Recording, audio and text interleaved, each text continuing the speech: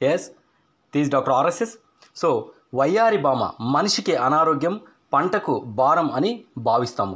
కానీ ప్రస్తుతం జరుగుతున్న పరిశోధనల ప్రకారం ఈ కలుపు మొక్క నుంచే చర్మ వ్యాధులు కీళ్ళ నొప్పులు మూత్ర సమస్య మలేరియా వంటి వ్యాధులకు నానో మెడిసిన్ తయారీలో ఉపయోగించవచ్చని చెబుతున్నారు. దెన్ వ్యవసాయ పరంగా దీని వేర్లను ఉల్లి పంటకు బయోపెస్టిసైడ్గా పండ్ల మొక్కలకు గ్రీన్ మాన్యూర్గా అంటే ఇందులో మైక్రో మ్యాక్రో న్యూట్రియంట్ పుష్కలంగా లభిస్తాయని తెలుస్తుంది. ఇవి నోటికి రుచిగా లేకపోవడం వల్ల ఆవులు ఎద్దులు గొర్రెలు దీనిని తినవు. కానీ జీవాలలో మేకలు అంటే గోడ్స్ వీటిని విరివిగా తింటాయి. అకార్డింగ్ టు రీసెర్చ్ మేకలు వీటిని తినడం వల్ల ఎటువంటి అనారోగ్య సమస్యలు రాలేదు అని తెలుస్తుంది.